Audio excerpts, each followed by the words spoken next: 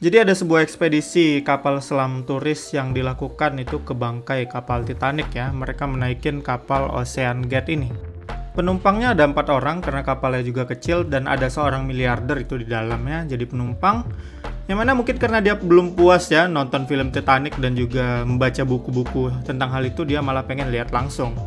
Dan ya kapal selam mereka dikatakan memiliki fitur canggih yang akan bisa mendeteksi, mendeteksi masalah. Dan pokoknya udah mereka rasa mereka udah siap lah. Tapi ya sungguh ironi ya kan?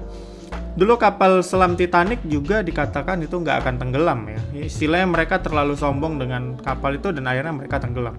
Sementara ini turis juga mengalami kejadian yang sama itu kapal selam yang disangka aman gitu mereka selamin itu ke bawah ke kapal Titanic itu dan akhirnya mereka hilang kontak ya jadi semenjak tanggal 19 Juni kemarin itu udah dicariin mereka di dalam laut sana dan juga dicari sama pesawat tapi belum ada nampak ngambang ya.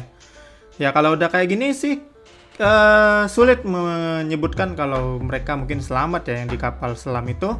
Tapi ya itulah ekspedisi yang mereka lakukan ya kan karena mereka terlalu penasaran untuk melihat langsung kapal Titanic dengan bermodalkan kapal selam kecil aja mereka beranikan diri untuk masuk nyelam ke dalam gitu. Ya salah satu selera nyentrik dari miliarder lah ya.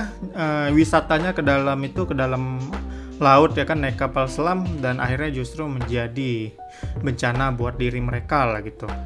Dan ya kita hanya berharap seenggaknya walaupun mereka udah nggak selamat gitu paling nggak sisanya masih bisa ditemukan ya kan apa yang tersisa dari kapal selam mereka.